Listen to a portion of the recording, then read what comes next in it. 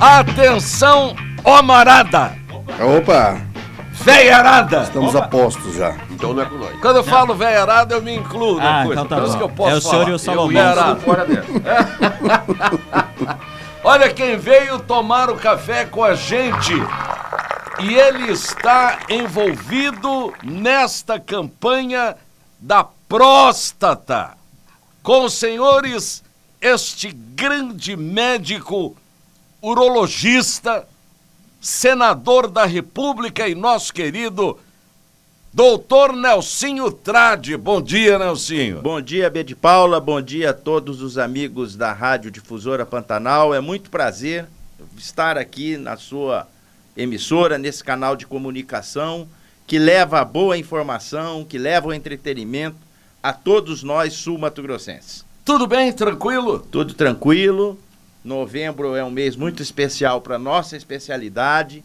É o Novembro Azul, assim como tem o Outubro Rosa, Aham. dedicado ao câncer do colo do útero e ao câncer de mama na mulher. Uhum. Nós temos o Novembro Azul, que é dedicado às doenças do homem, mais especificamente ao câncer de próstata. Para quem está me ouvindo, ter esse dado estatístico é importante. Aham. A cada nove homens, um vai ter câncer de próstata no decorrer da sua vida. Como a gente não sabe quem é o, o, o, o décimo. É, essa é a doença ruim. Qual- essa é a notícia ruim. Qual que é a Aham. boa?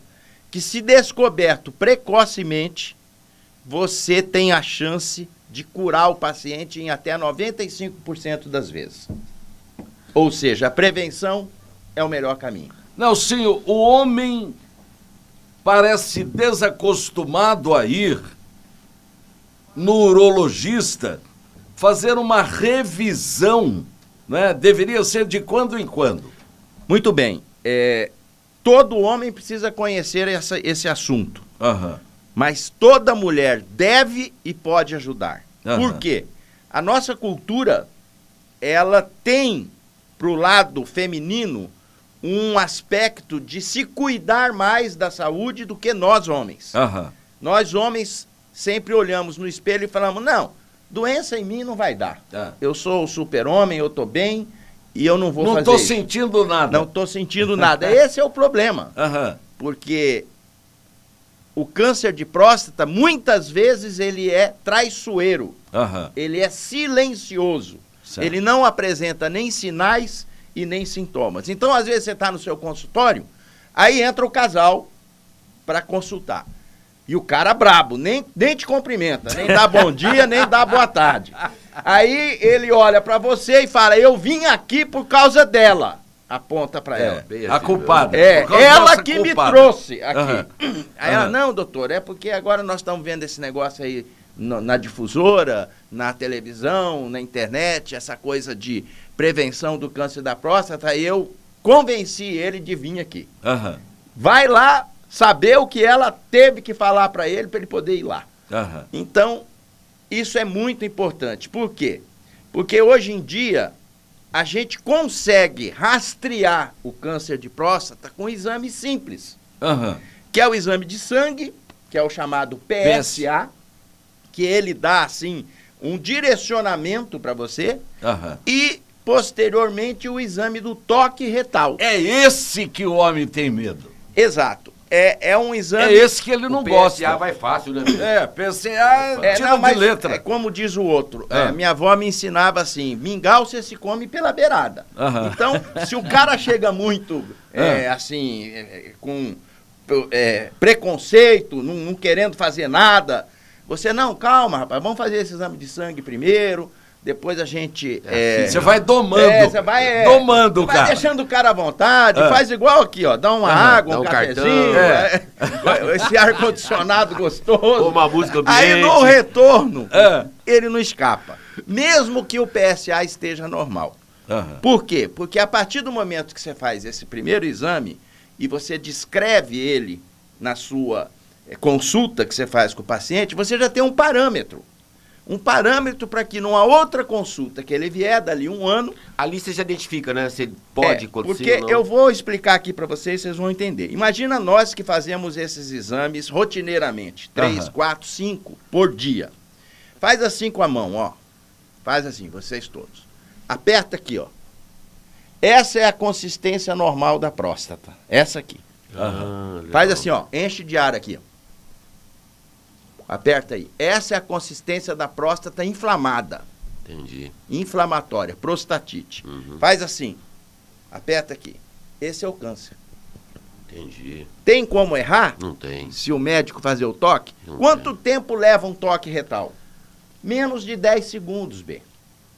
A mulher, quando vai fazer o preventivo, o ginecologista tem que pôr ela naquela posição ginecológica. É uma posição constrangedora.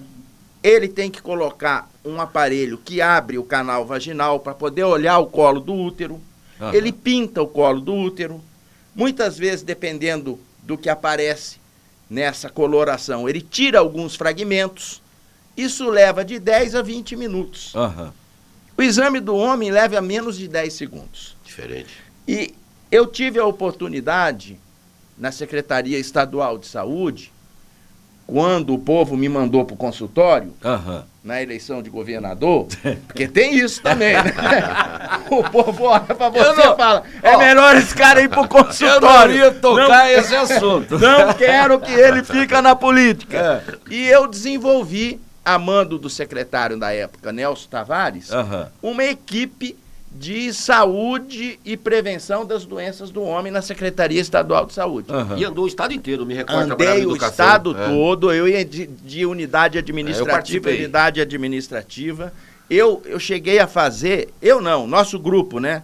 Que era formado por cinco, seis pessoas. A gente eh, estimulava o interior, fazia com que a Secretaria de Segurança Pública entrasse na nossa campanha. Eles pediram para a gente fazer essa, eh, essa campanha nos presídios. Nós fomos em todos os presídios do Mato Grosso do Sul. Visitamos um a um para poder fazer essa campanha para os detentos. E antes disso, a secretaria ia, colhia o sangue do paciente, a gente já olhava e triava aquele que precisava ser examinado. Aquele que tinha um- uma suspeita muito forte de câncer, você encaminhava para o devido tratamento. É isso. Bacana, hein, B? Sa é, é, sabe qual que é o problema? É que o homem, é, é, o homem passa tanta coisa na cabeça dele em relação ao toque retal que ele, ele fica perturbado com isso. Fica. É, né? Mas, é um, pre- um preconceito, preconceito. difícil de ser É, quebrado. Até Mas deixa eu um lhe abraço falar. meu médico. Fui lá no exame de próstata, lembrei do meu médico, André Domingos. Sim. Ô, É lá da nossa clínica. É lá da sua clínica, Nós é. temos uma clínica Isso. muito bem formada, é, é, com quatro urologistas. muito bom médico. Muito E é um pessoal altamente bom. qualificado. Qualificado. O governo do estado, na época que eu trabalhava na Secretaria de Saúde, Aham. estou licenciado porque estou desempenhando o mandato de senador. Eles fizeram a caravana de saúde indígena. Aham. A gente pegava aquelas carretas e ia para dentro da aldeia indígena. A gente não ia aqui da ONU e falava, ó, quem é o É, vem vem pra aqui. cá. Nós íamos até o Limão Verde, nós íamos lá para a aldeia em Miranda, a gente ia para de Bodoquena, a gente foi para Diamambai, ou seja, a gente foi até a, a caravana de saúde indígena, até as aldeias indígenas. Imagina você tendo eu que explicar para um índio, um cacique, que ele tem que fazer o exame, porque É. normalmente é de 45 anos para cima. preconceito. Eu sempre com uma, a- a- aquela agente de saúde do lado, que tem o contato melhor Aham. com ele, para poder explicar o que, que é. Aham. O cara ficava meio desconfiado, eu levava é, o, o- o folheto para explicar, né?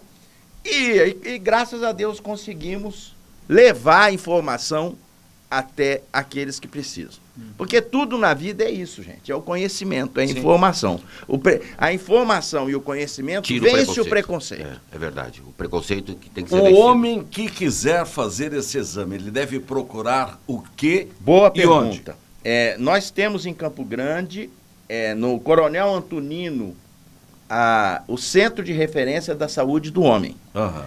A gente deixou essa estrutura organizada quando a gente saiu da prefeitura, ela funciona até hoje, e eu tenho a convicção que lá a Secretaria Municipal de Saúde há de promover ações para fazer com que as pessoas possam ter, através do SUS, a disponibilidade de fazer o exame, fazer o PSA e se prevenir.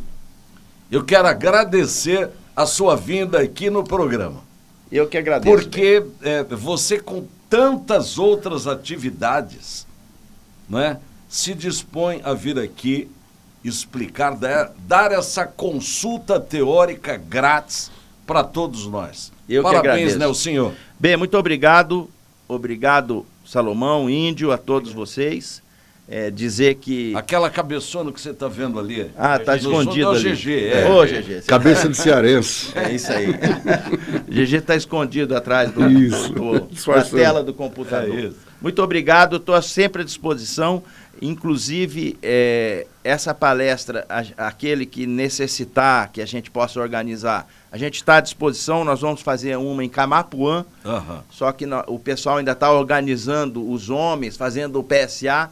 Nós vamos deixar atravessar dezembro e não tem problema, porque novembro azul tem que estar sempre presente na cabeça das pessoas. E aquele que tem alguém na família que tem história de câncer de próstata, esse tem que começar a fazer a Rápido. prevenção mais cedo. É, Preconiza-se a partir dos 45 anos. Mas se ele tiver um pai, um avô com câncer de próstata, não custa nada começar um pouco antes dos 40 para frente. Obrigado, Ô, Nelsinho. Bê, Nós tínhamos que chamar o Nelsinho Cê- mais vezes, né? Sim, Eu queria debater a reforma mas é- tributária, que foi muito bacana é, a é que discussão. o, é que o Nelsinho tem tantas outras atividades É. hoje. O Senado consome. É, a Né? reforma tributária, o princípio dela é o seguinte: reduzir carga tributária, porque vocês que já abriram algum negócio na vida de vocês, vocês sabem, tem que contratar um escritório de contabilidade antes de pôr o negócio para Planejar, funcionar. né, senador? Por quê? Porque cê- cê- é tanto tributo, é tanto imposto que você paga, que acaba consumindo um pedaço do seu recurso para investimento no seu negócio. Então, o que, que precisava fazer de mérito? Reduzir a carga tributária É e aí. simplificar ela. Nós vamos precisar de um programa inteiro para falar sobre Os isso. desdobramentos disso a gente deixa para outro programa. Até Ah, porque está ainda na Câmara dos Deputados. Isso vai voltar, porque É, teve já uma, voltou, teve então. uma, uma alteração, né? é, a, a, a giripoca tá piando por lá. Obrigado, Nelsinho. Obrigado, B.